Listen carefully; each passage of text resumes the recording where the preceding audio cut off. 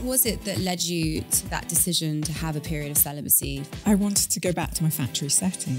I think becoming middle aged, you're just too tired to fake to fake it. You know, in in in all the ways that that means. So much of my early sexual history was what I would give in exchange for being chosen, for being told I was pretty, for being told I was attractive. I feel incredibly lucky and grateful that I am too old to have been beginning my sexual travels during the era of internet porn.